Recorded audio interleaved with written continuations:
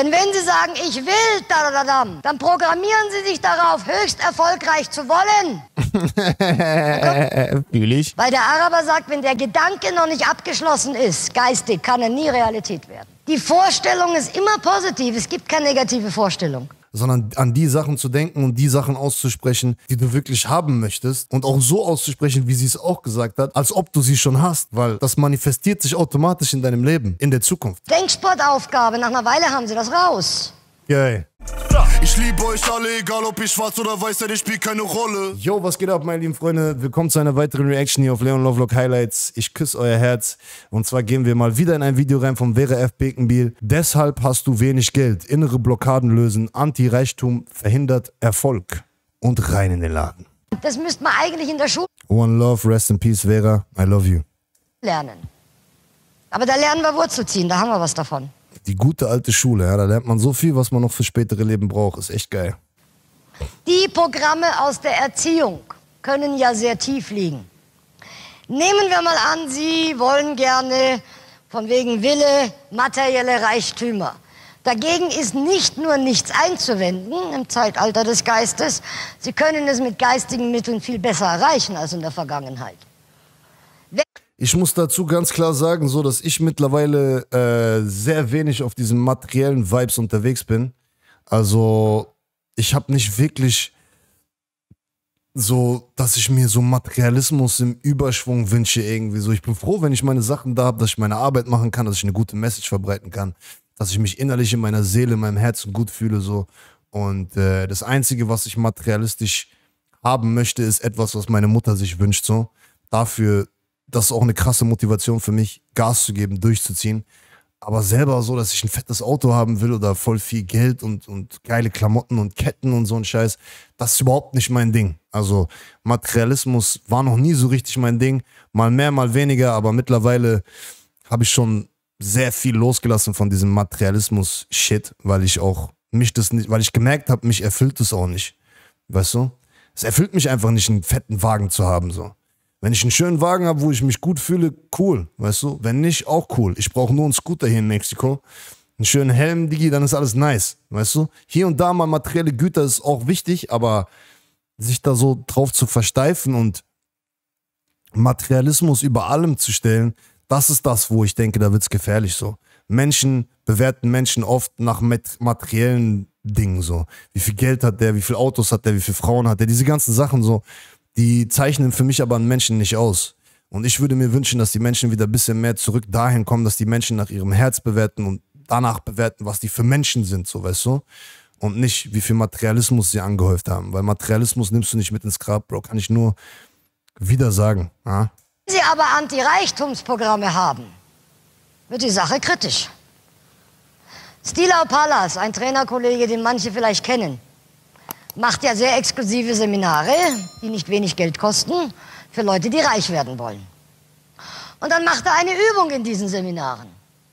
Er sagt, stellen Sie sich vor, so ein Rolls-Royce, so ein großer Schlitten mit Chauffeur fährt vor dem Hotel vor und da steigt jetzt dieser reiche Mann aus. Was sind Ihre ersten Assoziationen? Und dann rufen die Leute ihm was zu und er schreibt so einen Flipchart und sammelt die Ideen. Was sind die Ideen? Geizknochen, Ausbeuter, Sklaventreiber, Lauter so Scheiß. Dann sagt er, ich denke, Sie wollen reich werden. Wenn das Ihre Vorstellung ist von reichen Leuten, was wollen Sie denn da in der Kategorie? Gehören Sie doch gar nicht hin. Wir haben unerhört. Was ich sage, also was meine persönliche Message ist so, ähm, such deine Bestimmung, leb deinen Traum, mach das, was du auch tun würdest, ohne einen Cent zu verdienen dann wird alles andere von alleine kommen. Diese ganze, das ganze Materialismus und so, wenn du loslässt davon und wenn du deinem Herzen folgst, dann wird das alles von alleine kommen. Dann wirst du das sogar im Überschuss bekommen. Mach dir keine Gedanken darüber. Verurteile auch keine Menschen, die viel Geld haben und so, wie sie eben gesagt hat, sondern folg einfach deinem Traum, deiner Bestimmung und deinem Herzen und alles andere wird von alleine kommen. Viele Anti-Reichtumsprogramme nach dem Motto, reiche Leute sind fies und so weiter.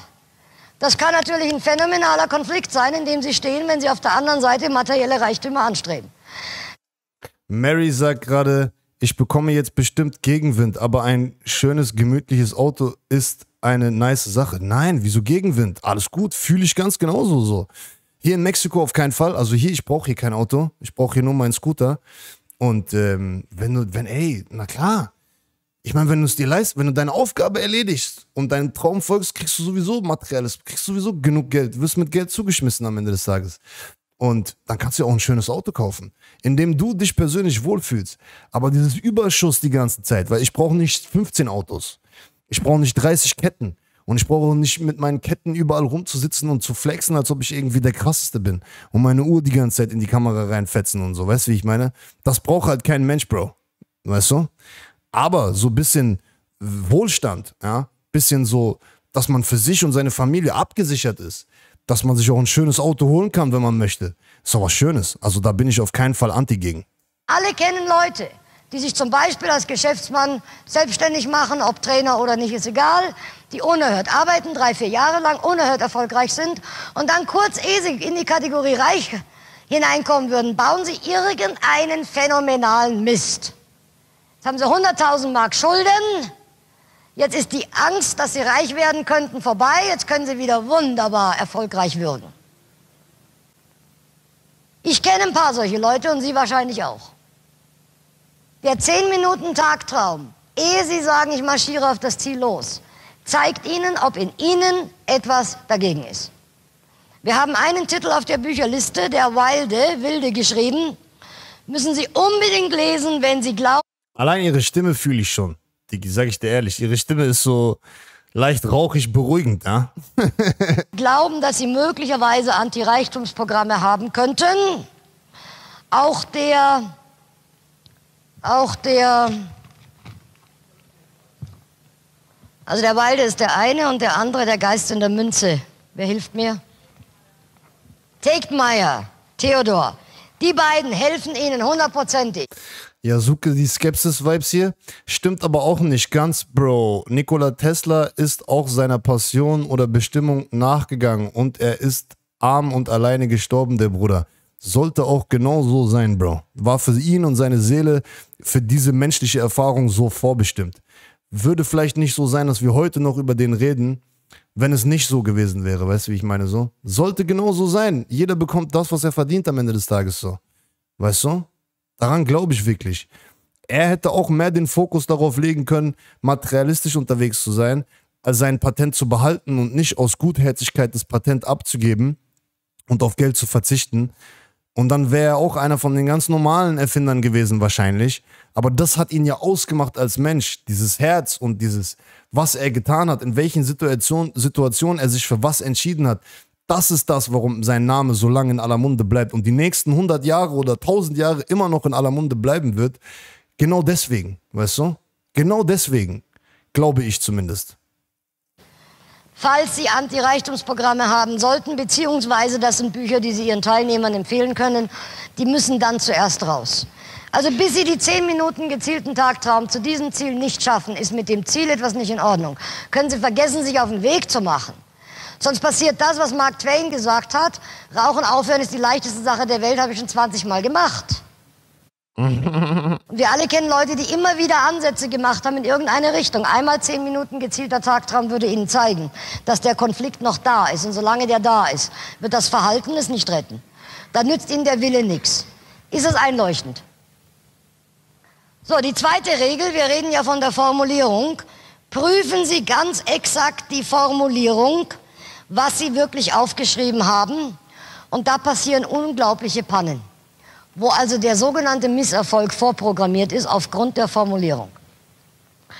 Also da schreibt jemand zum Beispiel, sagen wir mal, diese querschlanke Dame schreibt dann zum Beispiel, ich will abnehmen. Das ist ein riesengroßer Mist. Wenn Sie den gezielten Tagtraum machen und diese Formulierung wirklich sich vorstellen, dann merken Sie, was Sie hier im Begriff sind, für einen Unsinn zu machen. Wenn Sie das Ziel so erreichen würden, wie Sie es formuliert haben, dann müssen Sie abnehmen, abnehmen, abnehmen, abnehmen, abnehmen, abnehmen, abnehmen, bis nichts mehr von Ihnen da ist. Dazwischen müssen die leider wieder zunehmen, damit sie wieder abnehmen können. Und wir kennen auch Leute, die machen das seit Jahrzehnten. Richtig? Ich will abnehmen, ist eine Verwechslung des Weges zum Ziel und dem Ziel. Das ist das Verhalten, das ich nachher auf dem Weg. Also sagen Sie, jawohl, richtig, stimmt, gut. Haben Sie eine Zahl? Von mir aus, bei mir sind es die magischen 62 Kilo. Grad an Querschlankheit, der mit der Menge an Schokolade noch gut zu vereinen ist, die ich gerne essen möchte. Also würden Sie jetzt vielleicht schreiben, ich will 62 Kilo wiegen, jetzt kommt der nächste Mist. Was ich Ihnen jetzt sage, wird Ihren Teilnehmern sehr, sehr helfen. Jede Formulierung befinde mich hier im Kontrast zu einigen Erfolgstrainern. Es ist ein Supermarkt, entscheiden Sie, was Sie machen wollen mit dem Gedanken, wenn Sie den anderen kennen. Ich bin der Meinung, jede Zielformulierung mit ich will, ich werde und so weiter ist zum Scheitern verurteilt. Safe, weil du jagst Dinge. Du darfst die Dinge nicht jagen und sagen, ich will das unbedingt haben, so. Sei es einfach. Stell dir vor, wie du das schon hast. Sei, stell dir vor, wie du schon der bist, der du sein willst. Mach wirklich Visualisierungen. Stell dir die Sachen vor, die du haben möchtest, so. Wenn du diesen einen Wagen haben willst, dann geh schon in den Laden rein, guck ihn dir an, red mit dem Verkäufer. Tu so, als ob du dir den schon leisten kannst, weißt du? Sei es einfach. Das ist wieder auch das, was wir vorhin gesagt haben mit diesem Akasha, dass eigentlich ja auch alles schon da ist. Man muss einfach nur genug sein, damit man die Dinge auch anziehen kann, weißt du? Dazu musst du zurück in dein Bewusstsein reinkommen und dir die Dinge vernünftig vorstellen und jeden Tag alles dafür tun, damit du dahin kommst und nicht unbedingt auf Krampf die Sachen so jagen. Sei geduldig, glaube, sei geduldig und dann wird alles so kommen, wie es kommen soll. Denn wenn Sie sagen, ich will, da, da, da, dann programmieren Sie sich darauf, höchst erfolgreich zu wollen. Fühl ich. Wie ein Grabstein schreiben, aber er oder sie hat gewollt. Das Leben lang, sehr erfolgreich. Und einige unserer wichtigsten Ziele sind Ziele, die wir uns nicht trauen, ohne Konjunktiv zu formulieren. Da sehnen wir uns, da wünschen wir uns, da hätten wir gerne möglicherweise vielleicht. Hätte, wäre, werden auch so Worte. Sprecht die nicht aus, meine lieben Freunde. Ja, so werden sie das Ziel nicht erreichen. Und ihre Teilnehmer auch nicht. In der arabischen Sprache, wenn man ein Ziel formuliert, zum Beispiel wenn man jemanden äh, segnen will oder wenn man jemanden verdammt, ist ja im Grunde eine Zielformulierung, muss man grammatikalisch die Vergangenheitsform wählen. Weil der Araber sagt, wenn der Gedanke noch nicht abgeschlossen ist, geistig, kann er nie Realität werden. Also wir würden vielleicht sagen, Geil. Fühl ich. Araber, fühl ich. mögest du dir dein Bein brechen? Und der Araber sagt, du hast dir dein Bein gebrochen. Der Gedanke muss abgeschlossen sein. Geil. Formulieren Gib mir die Arabian Vibes, Bro. Sie es also in der Gegenwart. Sie können auch in der Vergangenheit formulieren. Wenn Sie sich bei der Zielvorstellung in die Zukunft begeben, um Ihre zukünftige Vergangenheit anzuschauen. Yasin, Grüße gehen raus an der Stelle. Aber keinesfalls Zukunft, keinesfalls Konjunktiv. Also ich wiege 62 Kilo. Punkt. Nicht ich werde wiegen, ich würde gerne wiegen. Eigentlich täte ich ja gerne wiegen.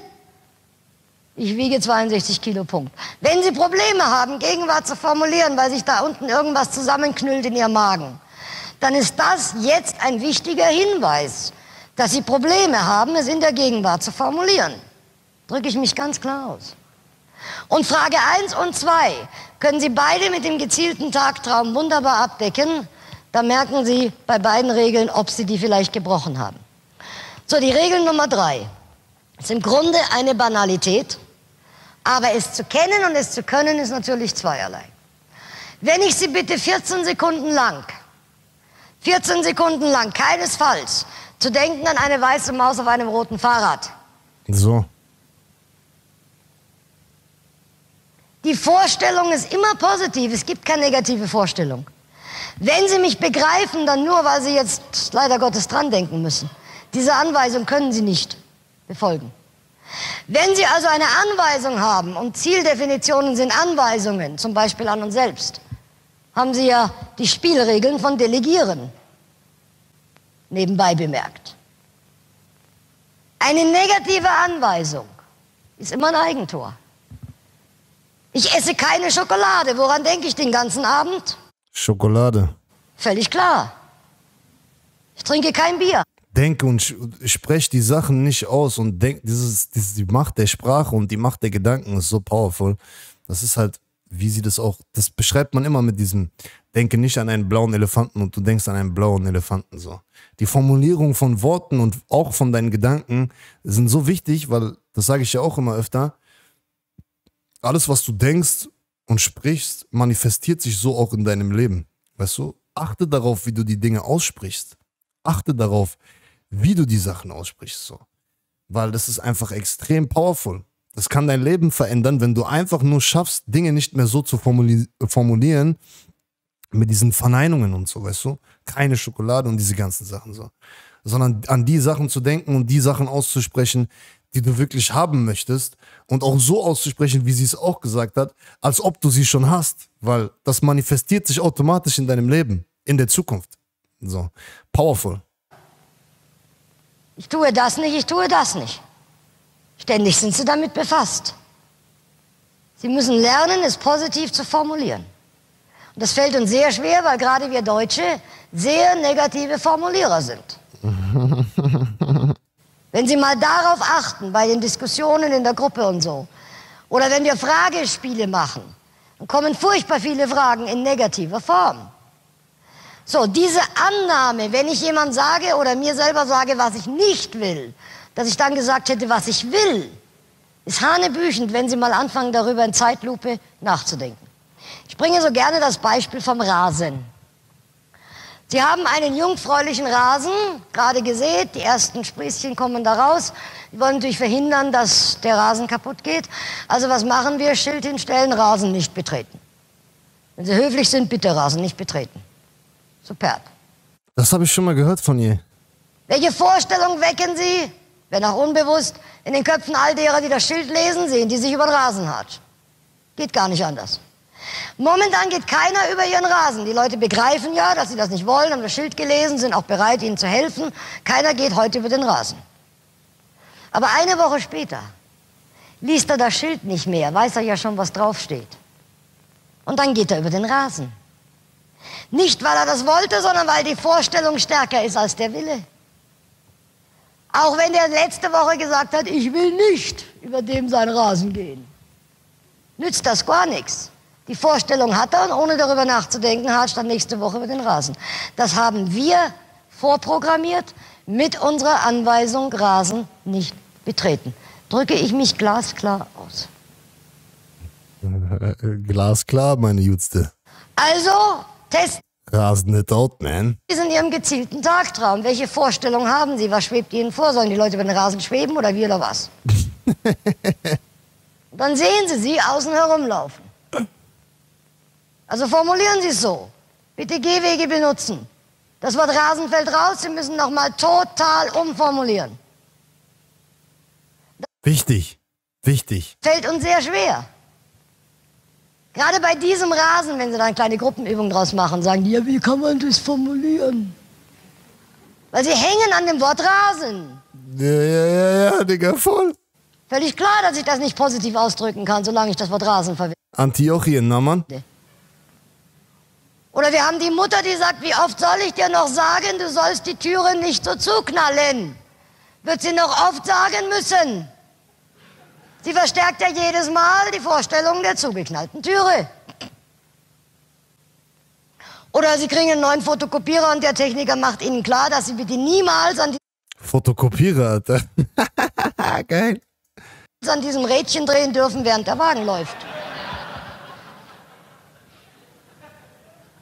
Wer es machen wird, wissen wir nicht, aber spätestens nächste Woche macht das jemand. Doch völlig klar. Drücke ich mich klar aus. Und das, wenn Sie mit Ihren Teilnehmern üben. Haut mal diese Ansagen. Drück ich mich klar aus, meine Jutzen. Hä? Drück ich mich hier gerade klar aus. Fällt nämlich im ersten Ansatz gar nicht so leicht, umzudenken. Also beim Rasen wissen wir jetzt nicht, außen rumlaufen. Okay, was soll die Mutter sagen mit der zugeknallten Türe? Das, was sie wirklich haben will. Ich flehe dich an, mach die Türe leise zu. Das will sie doch haben. Was soll uns der Techniker erklären? Statt zu sagen, bitte nicht an dem Radl drehen, wenn der Wagen läuft. Bitte nur an dem Radl drehen, wenn der Wagen steht. Das ist eine Denksportaufgabe. Nach einer Weile haben sie das raus.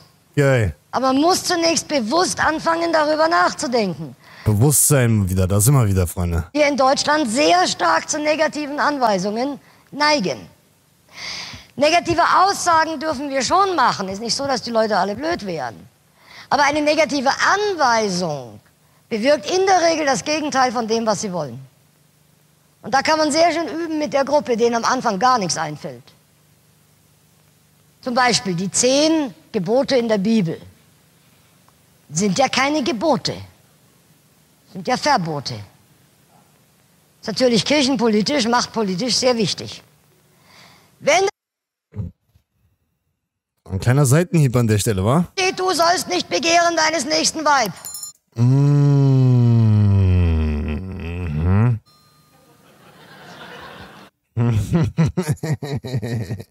Gib mir die Vibe-Vibes. wenn der Pfarrer von der Kanzel, dann sagt er, aha, was reingedacht haben Sie, geh hin und tue Buße. So schafft man Schuldige. Mit negativen Formulierungen schaffen Sie Schuldige. Haben Sie immer jede Menge Menschen, die schuld sind. Und Sie können Ihren Kunden helfen. Anweisungen in den Betrieben. Angefangen von, dass man in der Toilette gewisse Dinge nicht dahin, sondern tun soll. Gehen Sie mal durch die Betriebe Ihrer Kunden, da wo Sie eh mal vor Ort in der Firma sind, und schauen Sie mal, welche negativen Anweisungen Sie zuhauf finden. Von Kantinenzetteln über Gänge und überall hängt sowas rum. Und helfen Sie Ihren Kunden. Also, Freunde, keine negativen Anweisungen, ja? Es ist unglaublich, weil wir Deutsche sehr stark so geprägt sind, weil über 80% Negativity in, man, das sind die Vibes auch, Bro. Wenn du in Deutschland landest, direkt Negativität. Ich habe direkt Bauchschmerzen, sofort. Man gewöhnt sich schnell dran, aber da ist halt sehr viel Bad Vibes unterwegs. Wir sind sehr skeptisch die ganze Zeit und, nein, Digga, das nicht und das nicht, nicht, das Wort nicht und nein und so. Das wird sehr oft verwendet, Digi. ihres Verhaltens durch Imitation übernommen wurde, haben wir darüber in der Vergangenheit noch nicht nachgedacht. Als Nebenprodukt von unserer Zielesetzerei können wir das natürlich gleich umlegen auf Anweisungen geben, delegieren und so weiter, das sind dieselben Gesetze. Und Sie werden, das, jetzt kommt das Wohnwagen, der Wohnwageneffekt. Was glauben Sie, was Sie ab jetzt wahrnehmen an negativen Formulierungen? Phänomenal. Crazy. Schärft das Bewusstsein. Voll. So, Ich bin da, Vera. diesen drei Spielregeln können wir eine Zielformulierung finden, Hab dazugehört, Freunde. mit der Habe ich mich klar ausgedrückt. den Magneteffekt auslösen. Die Amerikaner sagen ja so schön, eine klare Zieldefinition ist der halbe Weg zum Ziel. Sind wir ja schon halb dort, weil die Vorarbeit, das ist das eigentlich Wichtige.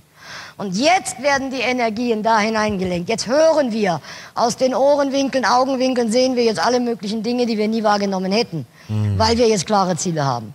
Das ist wirklich sehr, sehr einfach. Powerful. Das mit bisschen Diskussion und kleinen Übungen verankern bei den Teilnehmern, das bringt immer sehr, sehr viel. Weil so klar, das müsste man eigentlich in der Schule lernen. Da sagst du was, Vera. Aber da lernen wir Wurzel ziehen, da haben wir was davon. So. Wir haben wieder ein Zitat, Herr Klein. I love you, girl. Beste Frau. Top, top G. Top Girl. I don't know. Rest in peace, Vera. Geiles Video. Fühl dich feier, ich hab mich geprägt. Ganz entspannt, meine lieben Freunde, ja?